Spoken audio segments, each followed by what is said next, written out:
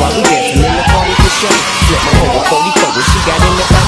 Bitches looking at me strange, but you know I don't care. Step up in this motherfucker just to swing in my hair. Bitch, quit talking, walk, get me down with the fan. Take a bullet with some dick and take it up on the jet. Hi guys, so this is Sir Archie once again, Alpha P. So today, we will discuss about your two types of episiotomy. Episiotomy. You will have your median and of course, you will have your mediolateral. Now, what are the difference between the two? So number one, you will have your median. So kapag sinabi nating median, the cut is straight at meron kang risk for anal laceration. However, the advantage is faster ang kanyang healing and lesser ang kanyang bleeding.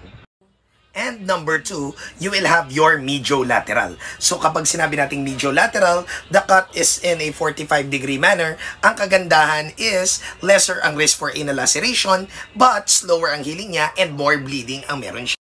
So the question is, which is commonly used between the two? So the answer will be your mediolateral. Kasi ang mediolateral, decrease ang risk niya for anal laceration. And prevention is better than cure.